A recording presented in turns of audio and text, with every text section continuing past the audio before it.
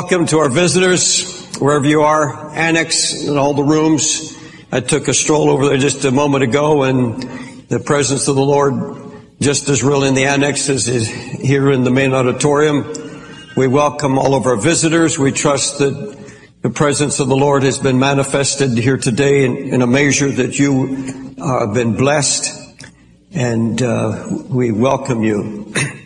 Now, for those who are downstairs, remember through Annex 8 and 9, or rather through Exit 8 and 9 here on the main floor, go to the ancillary building, and in the annex, go to room 204. The ushers will show you where to go. After the service, our visitors, we'd like to have you visit there and get a free book and a tape and meet some wonderful New Yorkers. And there's some refreshments also. We just want you to be uh, made very welcome here in Times Square. New York City this past year has had 34 million visitors. 34 million, the highest in record, and they're expecting more. And uh, we're glad we're right here in the middle of it all to minister the gospel of Jesus Christ. So pray for us as we pray for you. Amen. Turn around and just look at somebody behind you and say, God bless you. God bless you. God bless you. And mean it.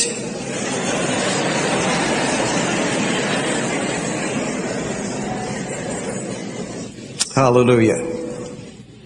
We love the word of the Lord here, Times Square Church, and if you look around, you find that anybody who attends Times Square Church regularly has their Bible with them. We bring our Bible and we go into the Word and we study it and we just love the Word of God here at Times Square Church. My message today, roll away the stone. This is not an Easter message. This is an everyday message. Roll away the stone. Now, Father, we come to the Word with great awe and respect, reverence. We come to you, Holy Spirit, asking you to anoint us. We ask you to make this Word living and life to us. We pray, Lord, as you gave it, that you would bring it forth, expand it.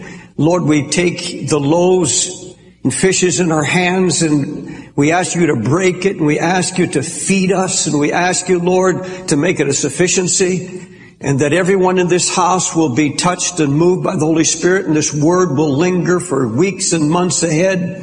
They'll never forget, Lord, what they hear from your word and from your spirit. Lord, when the Spirit makes the word life, we never forget it. And we pray your blessing and anointing on the word in Jesus' name. Amen. I want to talk to you this morning about obedience and the new covenant. Obedience and the new covenant. Now let me refresh your memory, those who attend this church and those who are visiting. In Hebrews, the eighth chapter, you don't have to turn there, but the writer refers to two covenants. The first covenant is called the Old Covenant, and the second covenant is called the New Covenant.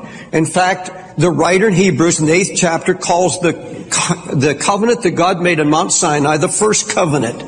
And so in Hebrews 8, there are two covenants or agreements that God initiated for the benefit of mankind. The old covenant was made at Mount Sinai. The new covenant was made with Christ when he came to this earth and God initiated it for the obedience of those who have a heart desiring to obey.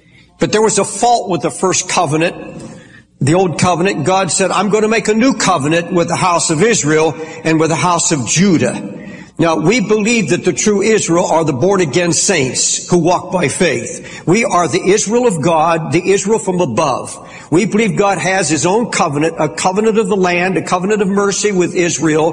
But the true Jew, the true Israel are those who are in faith in Christ Jesus. We are the true Jerusalem. We are the true Israel. And so these covenant promises made to Israel are made to the church of Jesus Christ. Now, under the terms of the Old Covenant, God demanded perfect obedience to all His laws and commandments. The scripture says, Now therefore, if you will obey my voice, this is under the Old Covenant. God said, if you will obey my voice indeed, and you keep my covenant, then you shall be a, a peculiar or special treasure unto me above all people. For all the earth is mine You shall be unto me a kingdom of priests and a holy nation. Now, why is it that God demands perfect, absolute, total obedience from His people?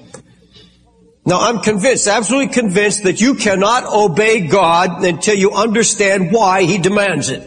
It's impossible for any Christian, no matter how pious you may be, it's impossible for you to obey God unless you understand His motive. You understand why He wants you and me, in fact demands of us total obedience, both under the Old Covenant and under the New Covenant. Uh, is it because God is a tyrant and He just uh, demands it for his own pleasure? Is he getting some kind of pleasure putting a heavy yoke on his children? That's not what the Bible says. Jesus said, my yoke is easy, my burden is light, and my commandments are not grievous. Obedience on our part has little to do with pleasure for God, has not for His pleasure. The pleasure God gets out of our obedience is the fruit and the blessing it produces in us. He's the loving Heavenly Father. He is not a tyrant. He's not trying to satisfy something in His own nature. He's satisfied with Himself. There's nothing you can, I, you and I can do to make Him any more satisfied with His glory than He is. So the matter of obedience is that it produces such fruit, it produces such blessing in our heart. He gets His blessing out of seeing us be blessed as a result of our obedience. This is how we bring pleasure to His heart. Just like a father who delights in seeing the obedience of his child and how it produces the fruit in his nature. That's how our Heavenly Father delights in it. The Bible talks, uh, Paul in Philippians talks about being filled with the fruits of righteousness. And he said that right after saying that you may be sincere and without offense. He said, in other words, if you obey God, you're going to be filled with the fruits or the blessings of that righteousness or that obedience. I can prove that to you conclusively in the scripture this morning. Now for Israel under the old covenant, the, the, the, blessings that resulted were primarily material in nature. He said, but if thou shalt indeed obey my voice and do all that I speak, I will be an enemy to your enemies. I'll be an adversary to your adversaries. He said, if you will obey me, I'll bless your bread. I'll bless your water. I will take sickness away from thee. And in Exodus 13, 26, if you will obey me, there will be no barrenness in your land. He said, I'll make you fruitful. I will bless you as a result of your absolute obedience to me. I demand obedience for a purpose. It is to bless you. It is to give you my favor. It has nothing to do with my being a dictator in the cosmos. It has to do with God desiring his blessings upon His people and there's no other way to receive them. Now all God's laws in the Old Testament, you read all the laws and all the commandments, page after page, having to do with washings, having to do with, with, uh, hygiene, having to do with rest days, having to do with cleanliness. all of these laws of washing the hands and the pots and the pans all had to do with God's desire to keep them from being wiped out by the diseases of Egypt and the heathen around them. It was God's plan to protect them. And they chafed under the very laws that God had intended to cause them to survive. He said, I'll not let any of these diseases come upon you if you just obey my laws of hygiene. Folks, that goes the same today.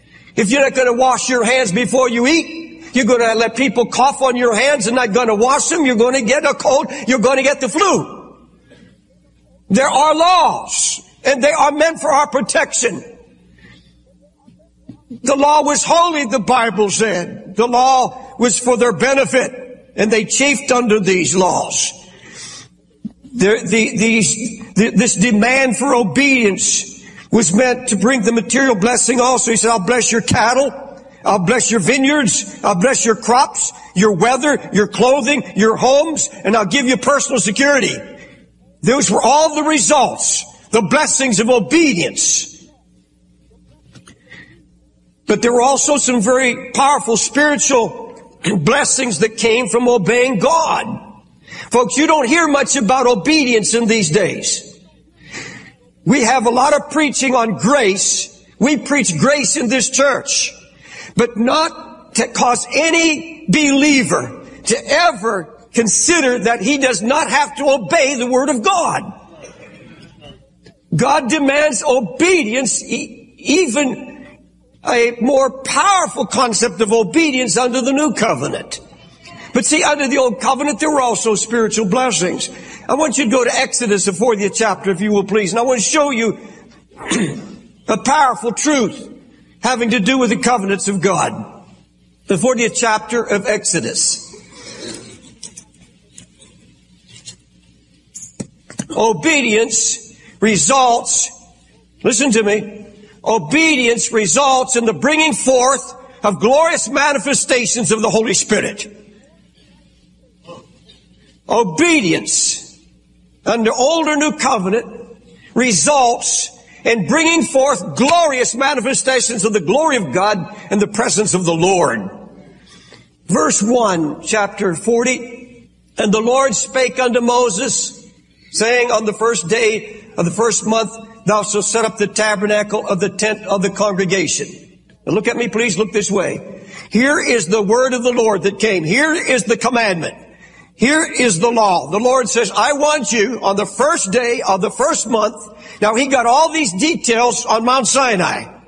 He had received a clear word from God, word for word. Moses, I want you on the first day of the first month, I want you to set up the tabernacle. And if you go on further in that text, you'll find the Lord spake unto Moses saying, set up the tabernacle.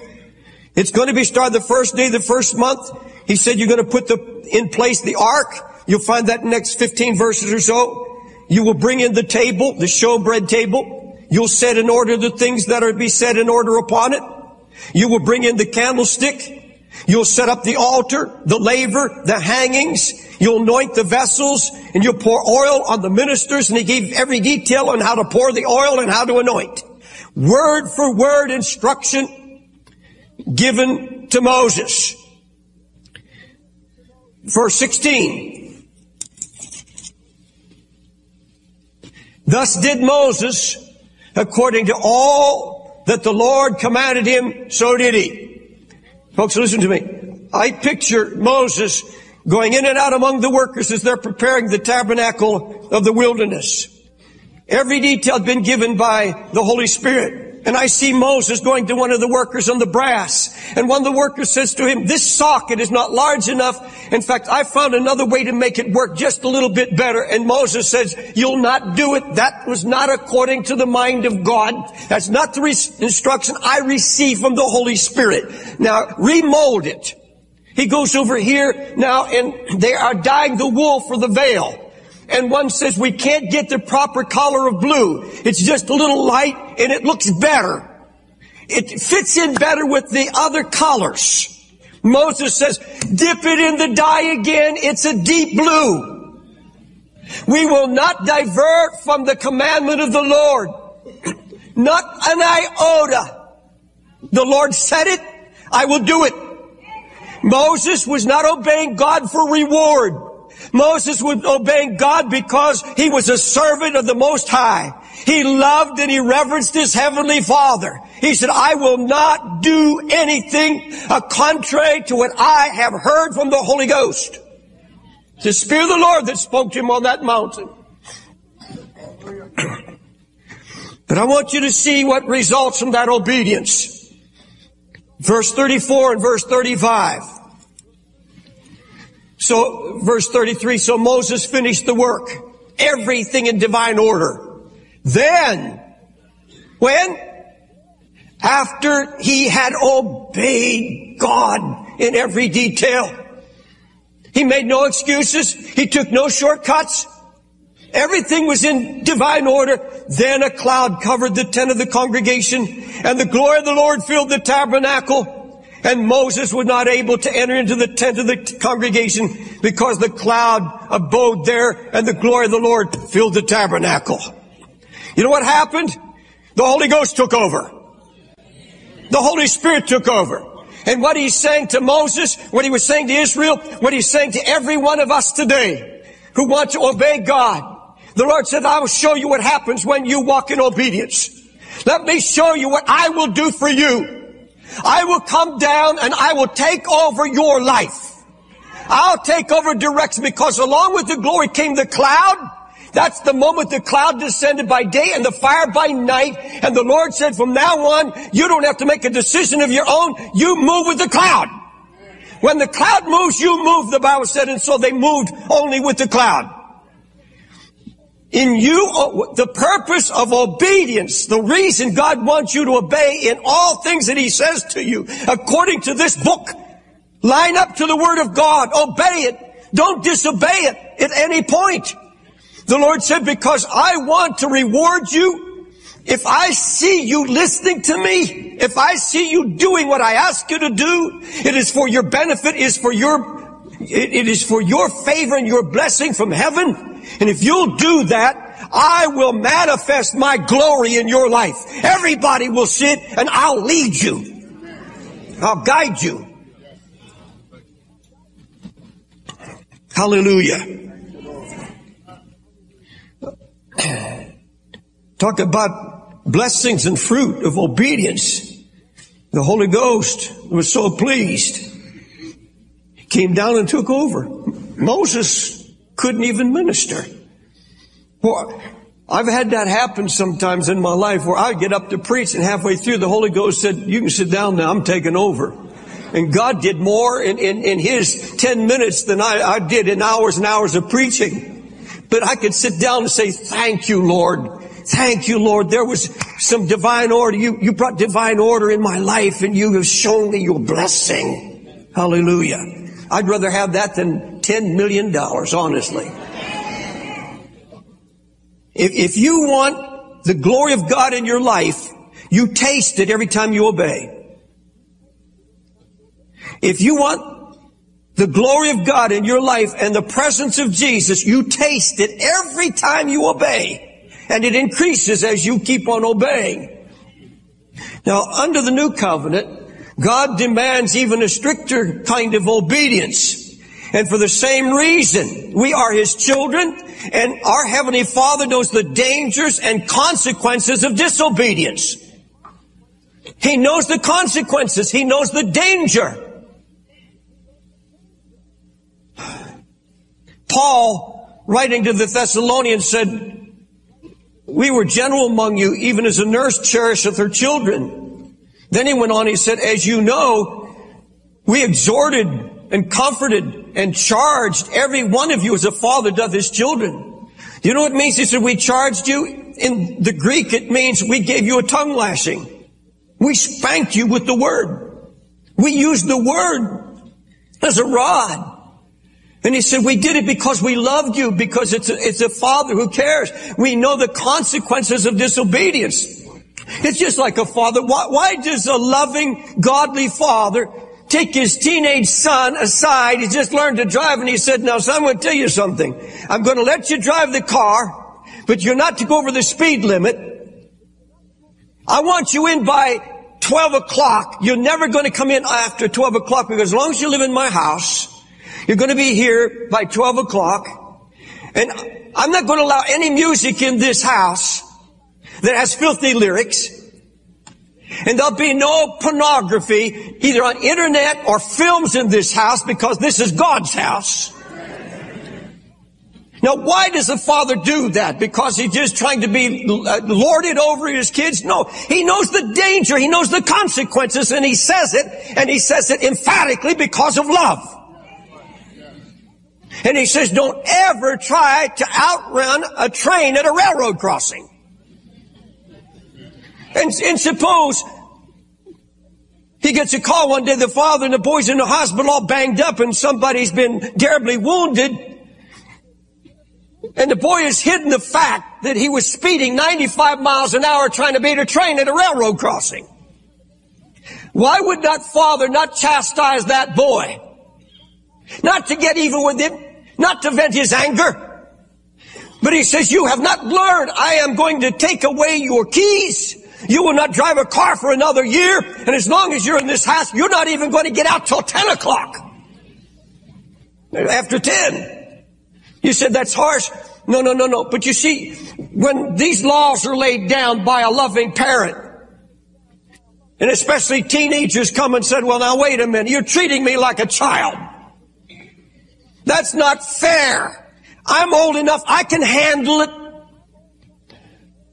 And I want to tell you something. That child will not obey if it's chafing against those rules meant to protect his very life.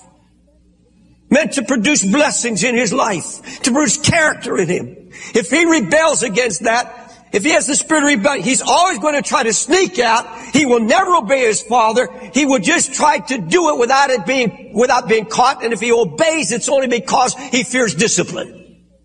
It's only the child who truly loves his father.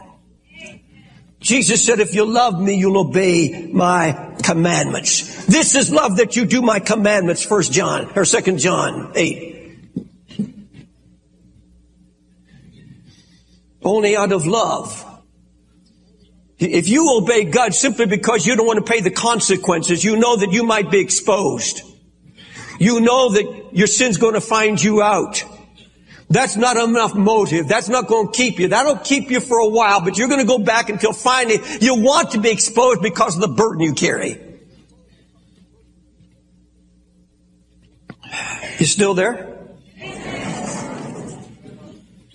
In the New Testament, you find some of the Lord's even most devoted ones questioning the call to obedience, questioning the word that they received from the Lord. They loved Him, but so often they said, oh yeah, but Lord, but Lord, but Lord. For, for example, Peter, he's in a trance on the rooftop, a flat rooftop in Joppa. He's waiting for lunch. And in this hungry state of mind, God moves in a vision and he sees uh, a, a, a sheet embroidered on the edges lowered to him and that sheet is full of unclean animals, not kosher for the Jew to eat. They're unclean. And the law said that they dare not eat any unclean animal. And the word of the Lord comes, a commandment comes, rise Peter, kill and eat. But Peter said, not so, Lord. You know, Peter's saying, Lord, but Lord, you've got to be mistaken on this. Why would you ask me to do something against your decree? Why would you ask me to do something your law is already forbidden? I can't do it. And evidently, he must have shaken this off as if, well, I'm, i really didn't hear from the Lord. We do that when something comes we don't like. That had to be flesh.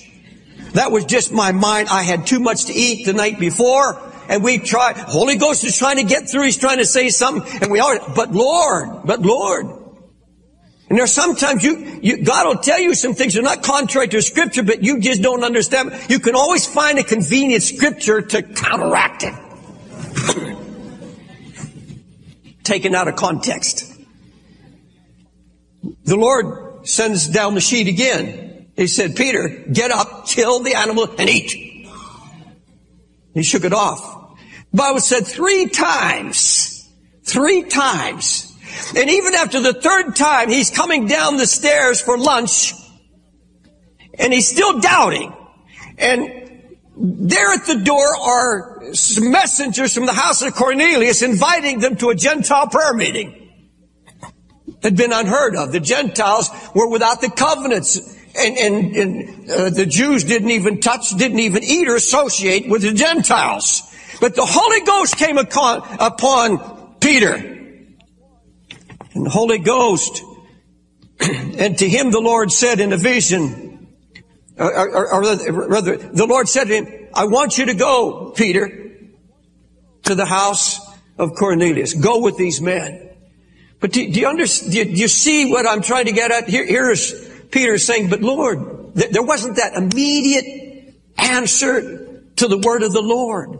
The more you delay disobeying, that clear voice of the Lord, the more difficult it becomes. Let me give you another example. Ananias. Ananias, the Bible says the word came to him in a vision and he said, behold, here I am, Lord. And the Lord said to him, Ananias, arise and go to a street called Straight and inquire in the house of Judas for one who is called Saul of Tarsus. Then Ananias answered, Lord, here, here's the but. Lord, I've heard by many of this man how much evil he has done to the saints in Jerusalem. The, the word is clear. The Holy Spirit came and said, you go, gave him the address, gave him the name of the man, and the house in which he was abiding. You couldn't get any clearer details than that. The, folks, the Holy Ghost isn't vague. If you want deliverance from sin, He will never be vague. If you truly want to obey, God's Spirit will speak clearly. There'll be no fog in it. The only people get muddled messages are those who have a muddled determination to quit. Mm-hmm. he said, but Lord, I've heard of this man. He's the man, he's, he's a killer. Can I just pray for him here? Is this trip really necessary? Oh, can I write him a letter? Anything but this, because he was afraid of this man. But I want you to know that both Peter and Ananias put aside all their questions, all their fears, and they said, he said it, I believe it, I'm going to do it, and they obeyed the Lord. They determined that they would go at any cost. The Spirit of the Lord, the moment that determination was made, the Spirit came upon Peter. Rise therefore, get thee down and go with them, doubting nothing. What happens when men of God obey the Lord's voice, the Holy Ghost? What happens? What happened with Moses when he obeyed? The glory of the Lord came down. The Spirit of the Lord fell. What happened when Peter went down to the house of Cornelius? Listen to what the Spirit said, what the Bible said. While Peter yet spake, he's speaking to Cornelius and his household. While he still spake these words, the Holy Ghost fell on all them that heard the word. There it is again. Obedience produces a manifestation of the glory and the presence of God. And ananias goes and prays with Saul. The Bible says he received the Holy Ghost. The Holy Ghost came down in that room, filled him and opened his eyes, healed his eyes. And folks, you and I today are still benefiting from the obedience of these men. In every case, there was a manifestation of the Holy Ghost. People talk about revival. People go everywhere trying to get a little touch of fire in their bosom. Folks, I'll tell you what, it's only when you've got your house in divine order, when you've got your life in divine order and you're obeying the Holy Ghost and everything He says, not then, not until then will you have a true manifestation of the Holy Ghost in your life. Everything else is sugar-coated candy, cotton, froth. It vanishes. Two months later, you're back down where you were because you are not obeying the Holy Ghost. Hmm. Let me give you another ex- example of questioning God's Word, and, and this by the Lord's own disciples, His very own disciples. In John 11, 7, Jesus turned to His disciples and He gave them the Word. He said, He, he said to His disciples, let us go to Judea again. His disciples said unto Him, Master, but Master, the Jews of late have sought to stone Thee and you're going to go thither there again? You're going to go thither again? He said, but Lord, this doesn't make sense.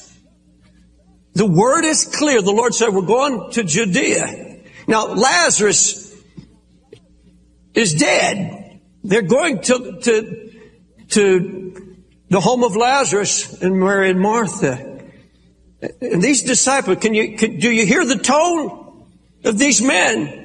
Lord, this is foolishness. This can't be done. They'll kill you and they'll probably kill us in the process. But see, they're questioning the word of the Lord. They're questioning it. Then said Jesus unto them plainly, Lazarus is dead. Lazarus, would you go to John 11, please? Beloved, I want to tell you something. There is nothing on the face of this earth that will set you and I free except the Word of God. The Word of the Lord. Nothing.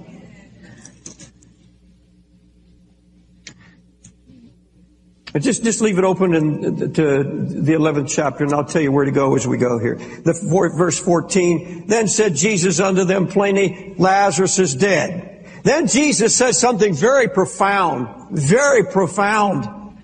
Verse 15, and I'm glad for your sakes that I was not there.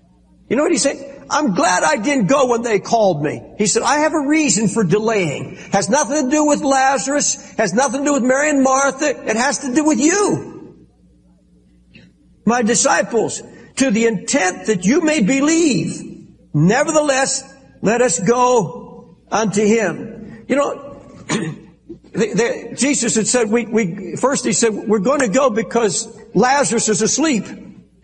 And you know what the disciples said, don't you? They said, well, he's better off than we are. Let him sleep. Why bother him? Any excuse. Jesus plainly said, no, Lazarus is dead. And I'm so glad for your sakes that I was not there to the intent that you may believe. And you know what he's telling his disciples? I'm about to bring you face to face with the greatest impossibility you've ever seen in your life. I am going to bring you face to face. Now, they'd seen people raised from the dead who'd been dead a day or hours. Had never seen anybody raised from the dead who'd been four days when the body would have decayed. He said, I, am going to put you face to face with the greatest impossibility any human being could ever face. And I'm going to show you folks that that impossibility at that tomb has to do with your besetting sin. It has to do with that one issue that God's been dealing with you that is, has entombed the revelation of the glory of God in your life. We're going to see that unfold here in just a minute. Follow me closely. In the Greek, unbelief and disobedience are represented as the one and same word. Let me give you an example. Don't turn there, but in Hebrews 3.19 it says, So we see that they could not enter in because of unbelief. The children of Israel didn't go into the, to Canaan land because of unbelief.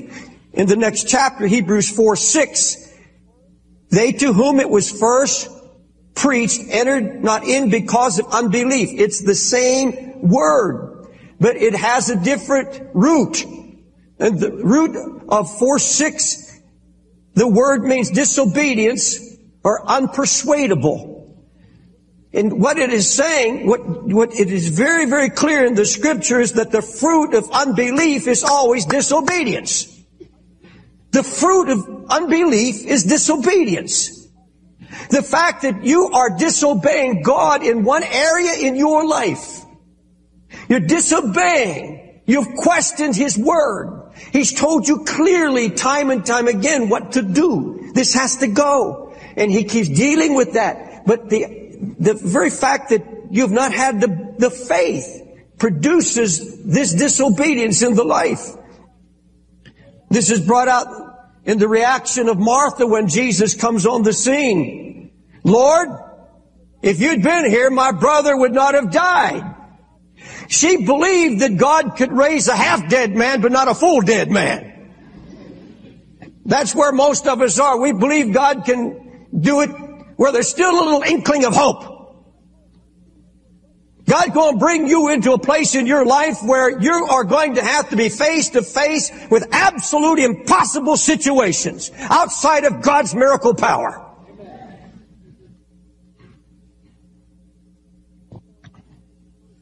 You know, Ananias at first didn't believe that this man could be changed.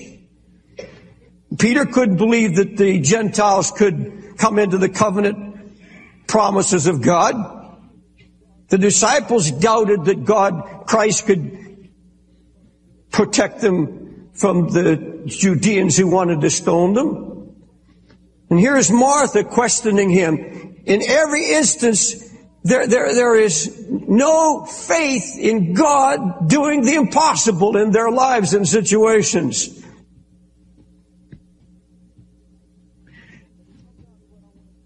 Then we come now to what I want to call the crisis experience. The crisis experience in obedience. Now the new covenant demands absolute total obedience to the word of God. Every word that proceeds out of his mouth. They are not grievous, but folks, he demands absolute obedience. And the reason he can demand it is because he's made every provision in our lives to have all the power and resources we need to obey. He's not asking us to do anything He has not provided for. In the new covenant, obedience is provided for by the indwelling power of the Holy Ghost. The Holy Ghost has been given to us. It was not given under the old covenant. There were times the Spirit would move on people. There were manifestations such in the time of Moses and the tabernacle and Solomon when he built the temple. But they did not have this daily walk with the Holy Ghost. You and I have the Spirit of God abiding us. If you were saved by faith in Christ, that had to be the work of the Holy Ghost. The Holy Spirit had to be in you to reveal Christ. He said the Holy Ghost is given to those who ask. Have you asked the Holy Ghost to come and abide in you? When the Holy Ghost comes to abide in us by faith, folks, that indwelling power of the Holy Ghost is every resource, everything we need to obey God at every point in our life. Every word of this book. So that it's not our striving, but the ministry of the Holy Spirit in us. The crisis comes when you've been dealt with by the Lord about something that is holding back the glory and the blessing of God in your life. There's not the fullness. You, live with guilt and fear and condemnation. Because you know there's, there's this one issue the Holy Ghost is dealing with. There's one issue. Could be a besetting sin. Could be covetousness. Could be a, a driving ambition. It can be sexual problems. It can be lust. It can be temptations. So many, many things that Christians carry year after year and they never enjoy deliverance from the bondage and dominion of sin. And they live in misery because the Holy Ghost is persistent. He's saying, I have to have that. It's got to go because it's blocking and hindering the flow of my covenant blessings. He's saying now, if you really want to be free, I've made a way. I've made a way. See, this crisis comes when God, by His Spirit, knocked down all the excuses. The excuses are all gone. And the Lord keeps saying, obey me in all things you're not living according to my word. And that's why you don't have order in your life. That's why you don't have order in your home. And folks, I'm going to tell you again, he has every right to demand full obedience because he supplied all the power to obey. Said, if you through the Spirit do kill or mortify all the deeds of the flesh, you shall live. You know what it means to live? When God says you shall live, that means you're going to live. To live free from guilt. You're going to live free from bondage. You're going to be set free. He said, you'll live. A lot of Christians aren't living. They're existing. What is it that's locked up in that tomb as Jesus approaches it with his disciples? You say, Lazarus? Let me tell you the two things I see locked in that tomb. Even though in the spirit you may be outside here with Jesus right by your side, locked in that tomb is this, is the flesh under bondage. Chained by the death of sin, the stench of sin. Hopeless. Also in that tomb represents your full revelation of Jesus Christ. New resurrection life. It's entombed because there's a stone rolled at the door. And folks, you can go through life keeping your revelation of Jesus entombed. It's there. The Lord is there with the Word ready to bring it forth. He's more anxious than you are. But He says, roll away the stone. That stone is nothing more or less than unbelief. According to the covenant, the new covenant, the only thing that stands between you and total victory and freedom from all sin and its dominion is unbelief. Nothing else.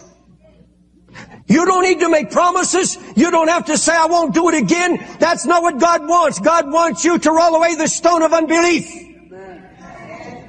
Mary said, but master, by now he stinks. He's been dead four days. And that's the word that we hear from people, but this thing is laid so, it's been so long. The stench of this in my life, it's been so long, it's there. There's no hope. I'll be hooked as long as I live. I've tried and tried and tried. It's impossible. And so there's no revelation of Jesus. There, there, there's no hunger for the Word of God. There's no divine order. Because unbelief has entombed the revelation of resurrection life lays in that tomb all wrapped up in unbelief. And the Lord comes to you today in the Holy Ghost and He says, do you want to be free? Do you want deliverance? I've made a covenant with you. I have made a covenant. Roll away the stone. Get rid of the unbelief. That's within your power. That's within your ability. That's the only thing that you and I can do. That's our part in the covenant. What else can you do but believe? Jesus said, didn't I say to you, if you would believe, you shall see the glory of the Lord? There it is again. The glory of the Lord comes because you believe.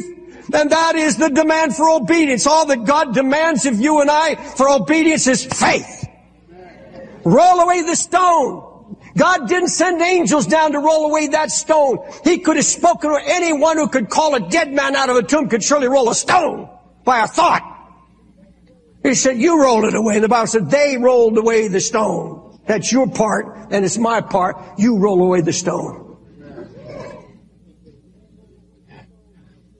When you roll away the stone, you will hear his command.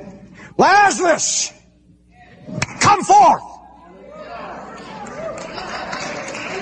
The moment you believe that God has the power for the impossible, you said my sin is so embedded in me, it's impossible. It's been there. I've been chained by death for so long.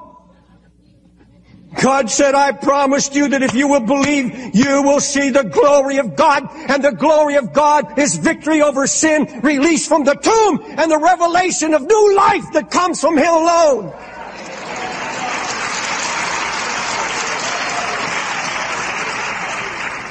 If you will believe, you will see the glory of God.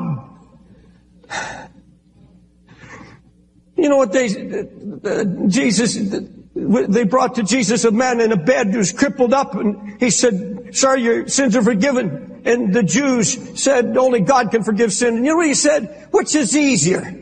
To say your sins forgiven or take up your bed and walk. And he said, take up your bed and walk. And he walked. You know what God's saying? How is it that you can believe me? What's easier for me? To, to save your eternal soul through my blood? Or to say to your sin, enough! Be gone! Be healed! Be delivered! Come out of your tomb! Which is easier? God said, if you're going to believe me for your eternal salvation, if you believe me I've forgiven all your past sins, I want you to go to that tomb right now, he says, and move the stone away, and I'll speak the word. You just give me faith, and I will bring you out of that tomb. I will take away all of those bandages, and you'll leap and you'll dance with new life.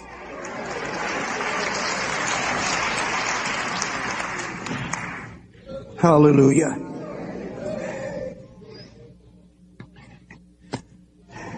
Beloved, what a grief it must be to the heart of God that He sent His Son to bring such freedom, to open every tomb, to raise every dead man and woman. What a, what a pain it must be the heart of God that so many Christians do not enjoy resurrection life. And that's the purpose of the new covenant. Lord, so yes, you'll obey me. And when we don't, there'll be chastening. But he'll just keep coming back and coming back out of his great love until he says, look, I'm going to keep bringing you to this tomb. I'm going to keep bringing you to this stone until you roll it away.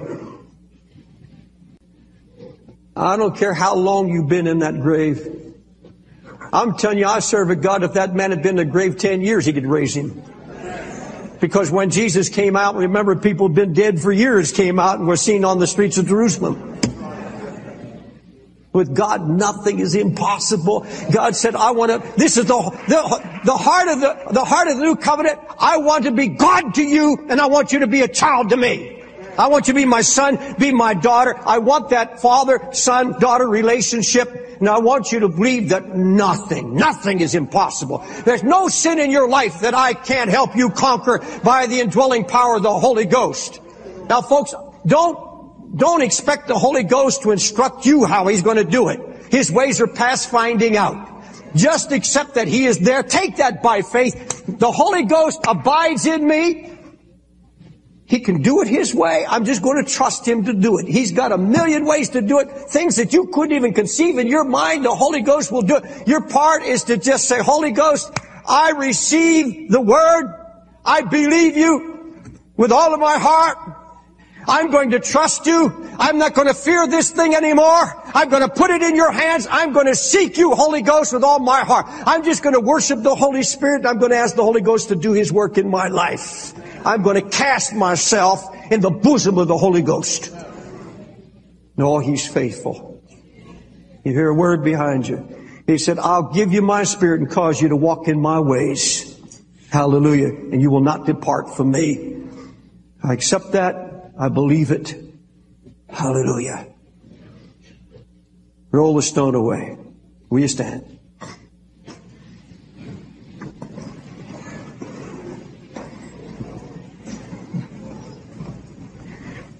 Forgive me for getting so loud, but man, God wants us to be free. God wants you to be free.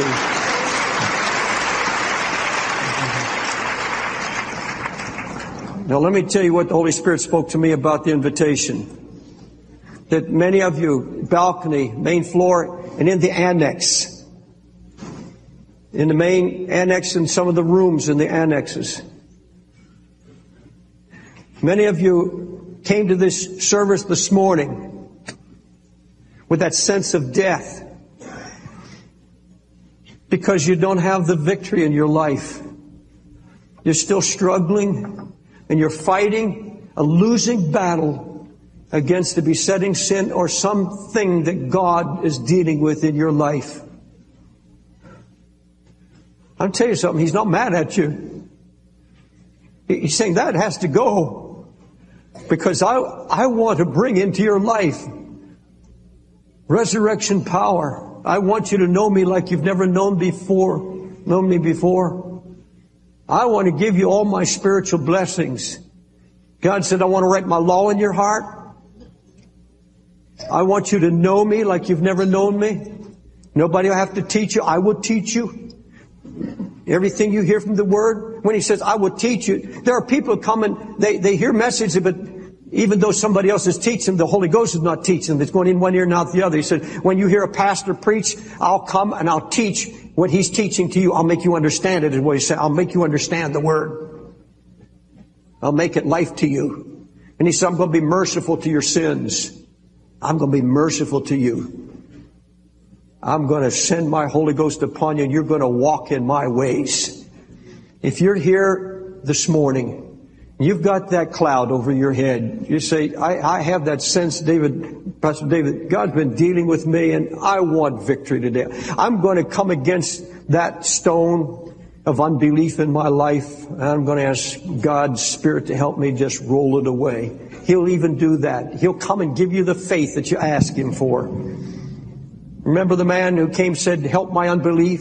Jesus helped his unbelief. I want you to get out of your seat. If you don't know Jesus, if you backslid, if you've been running from God, in the, in the annex, go outside to the lobby. The ushers will show you the door into this auditorium. And you come down the aisle and come here and meet me and I'll pray for you. And up in the balcony, go the stairs on either side and come down any aisle. Move in close, make room for those that are coming. Now, to walk in the Holy Spirit and to become sensitive to His voice, you've got to give Him time. That means if you feel a temptation coming on you, if you feel you're drifting toward doing something that's contrary, you know, to the will and the Word of God, stop immediately and consult the Holy Spirit. Consult Him. There'll be a, a word in you. He will come. He is faithful. If He didn't come when you called, He wouldn't be God. He wouldn't be the Holy Spirit. He will come. He'll not let you be deceived. And I'm going to tell you, you say, Lord, should I go there? Should I do this? Lord, I'm about to do something that I know is sinful. I don't have the power to resist the Holy Spirit. Will you come right now? And I'm telling you, He will come. The problem is we race ahead of Him because we know what He's going to say. We shut Him out. We just shut Him out and we go and do it. And then we get the guilt and the fear and condemnation after. The Holy Ghost doesn't put that on you, but that's from your flesh and that's from your conscience. So if you're going to walk in the Spirit, and if you want Him to be, if you want Him to give you that cloud that leads you, that inner voice of the Holy Spirit that will not deceive you, you've got to give Him time.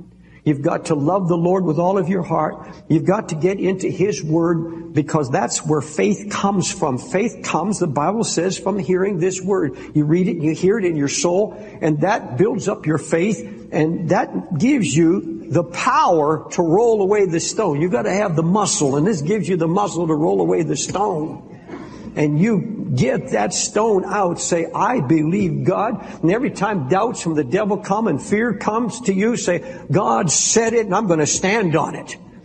The Holy Ghost is in me. The Holy Ghost is my helper. The Holy Ghost is my comforter. The Holy Ghost is my strength. He's my strong tower. And speak the word of faith. Speak it out loud and say, Jesus, I believe. Holy Spirit, I believe your power. Deliver me from the bondage of this death. That's what Paul said. Who shall deliver me from the bondage of this? I thank God through Jesus Christ, my Lord. Hallelujah. The Spirit of God is the Spirit of Jesus Christ. That is Jesus. Now, if Jesus were still here, he would probably be living in Jerusalem. And, and with, with uh, how, how many billions of people on the face of the earth, what chance would you have to get in five minutes with him? If, if, if, he, if he were on earth, if he were living today and he lived in Jerusalem, what chance would you have? You couldn't afford to get there in the first place. And if you wanted an audience, and, and what could you tell him in five minutes? Because you've got uh, you've got uh, a couple, uh, you, have got a billion or two Chinese in front of you lined up, and you've got Indians, and you've got them from Africa, you've got them all over the world, they're lined up. You can't do it, but that's why He sent the Holy Ghost, so His Spirit could be everywhere at one time for all of us, and He's available. Everything you would have gotten with a interview with Jesus, everything you would have gotten with Him putting His hand on you, say, let it be done, is done now by the power of the Holy Ghost. That's the Spirit of Jesus spread abroad in all of us. We're one body. Hallelujah. Will you believe Him right now that Jesus is right here by His Spirit? I want everyone that wants freedom and roll away the stone. I want you to just lift up your hands to the Lord. Bible says, I want you to lift your hands to God. That says, I surrender. Pray this prayer with me right loud. Jesus, Jesus. I come against my stone, my unbelief, and I cast it out, and I roll it away in the name of Jesus Christ, my Lord and Savior. Jesus, I have no power. I have no authority. But you have it, Holy Ghost. And you abide in me. I cast my life and my care and my future into your hands. Jesus, cleanse me, forgive me, and heal me, release me. Now in Jesus' name, I speak the word The word that Jesus spoke to the dead flesh in me. In Jesus' name, come alive. Every sin, every habit, be gone in the name of Jesus through the power of the Holy Ghost. Now you thank Him in Jesus' name for His power. You thank Him for His authority. I give you thanks, Jesus. I give you thanks. I give you praise. Hallelujah, Holy Ghost. Raise your hands and tell Him you love Him right now. Lord, we love you. You have power. You have authority. Holy Ghost, come down right now and speak the word of faith. Roll away the stone. Lazarus, come forth in Jesus' name. Victory, resurrection, life, come forth. Hallelujah. Hallelujah. Glory to God. Glory to God. Hallelujah.